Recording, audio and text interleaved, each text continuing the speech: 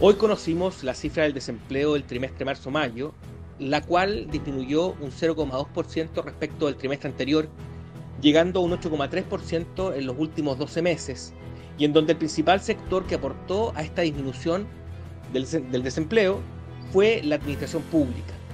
Sin embargo, hay otra cifra que es muy preocupante. La tasa de ocupación informal aumentó en un 0,8% este trimestre, llegando a un 28,2% de los chilenos que trabajan.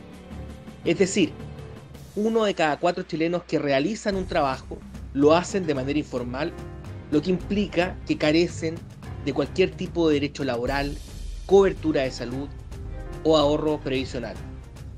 Así, es en este tema en donde el gobierno debiera poner un especial énfasis en su gestión laboral, permitiendo que más de 2.630.000 personas que hoy trabajan en la informalidad puedan acceder a cobertura de salud, previsión y derechos laborales básicos.